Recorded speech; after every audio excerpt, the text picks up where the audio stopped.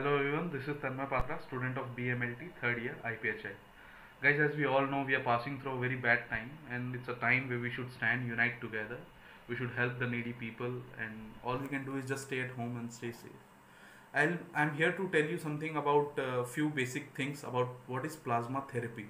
As you know, that we are hearing this word plasma therapy everywhere in the news channels, in the websites, news websites, and the social media. So everyone is excited to know that what is plasma therapy because we are hearing that plasma therapy is being given to the patients who are affected by coronavirus uh, as a trial method to cure them.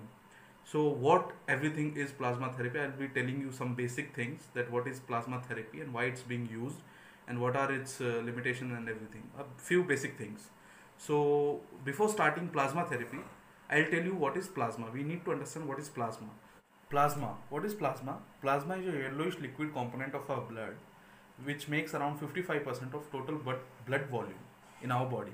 So this is plasma. What it contains? It contains uh, globulins, immunoglobulins, and uh, antibodies, which play an important role in our immunity, as well as fibrinogen, which is uh, which is also an important part in our blood clotting. So this is plasma. What it does? It carries cells and proteins throughout our body. So I hope you got what is plasma. Now I'll tell you what is plasma therapy. Plasma therapy is the transfusion of plasma from a recovered patient to the infected patient. That means the blood of a recovered patient is collected out and plasma is separated out from it and then that plasma is injected to the infected patient who is in a critical condition. This is plasma therapy. Why we do this? What is the use of it?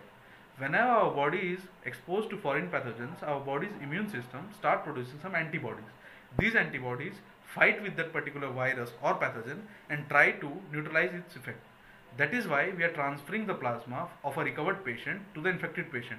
As we know, our plasma contains antibodies and that recovered patient who was infected of coronavirus and now is recovered, that means their antibodies are stronger and can neutralize the effect of coronavirus. That is why we collect such type of antibodies from the patient and then we inject it to the infected patient so that it can neutralize the effect of virus. This is why we do this plasma therapy. So this was all about plasma therapy. It was some basic things about plasma therapy that what is plasma therapy and why it's being used. And I hope you all got this. And I also hope you are not bored. Uh, so thank you so much for listening me. And guys, stay at home, stay safe. Thank you.